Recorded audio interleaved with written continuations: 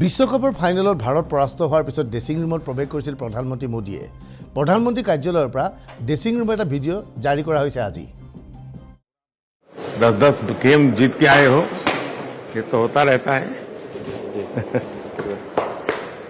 दूसरा ये भाई देश आप लोगों को देख रहा है हाँ, हाँ। मैंने सोचा मिल लू को सबको होता है कहा राहुल? कहते हैं? चलिए, आप लोग मेहनत बहुत की है, लेकिन कहा बाबू? ढीलो ना पड़ दो।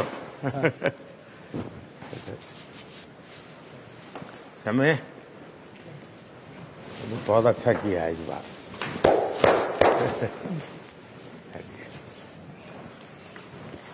तू तो गुजराती बोलते हो इसने थोड़ा थोड़ा थोड़ा तार तो घर से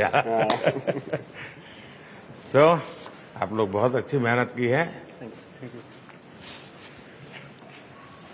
और चलिए होता है होता रहता है ऐसा हाँ और साथियों भी एक दूसरे को जरा हौसला बुलंद करते चलिए।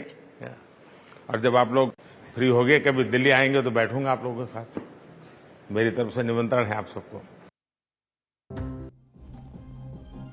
আজি ৰাজীৱ ভৱনত কংগ্ৰেছৰ এখন সংবাদমেল হৈছিল সংবাদমেলত অন্যান্য নেতাৰ লগত উপস্থিত আছিল কংগ্ৰেছৰ নেতা ৰমেন বৰঠাকুৰে ৰমেন বৰঠাকুৰৰ হঠাৎ ছাবজেক্ট দেখি সকলো হতবাক ৰমেন বৰঠাকুৰে আক্ৰমণৰ লক্ষ্য হিচাপে বাছি লৈছে প্ৰধানমন্ত্ৰী নৰেন্দ্ৰ মোদী ডাঙৰীয়া দুহেজাৰ চৈধ্য চনত যেতিয়া শাসনলৈ আহিলে এই শাসনলৈ অহা সময়ছোৱাত কংগ্ৰেছ মুক্ত ভাৰত কৰাৰ কথা কৈছিলে। সেইটোতো অমূলক আৰু সদায় প্ৰমাণ হৈ আহিছে।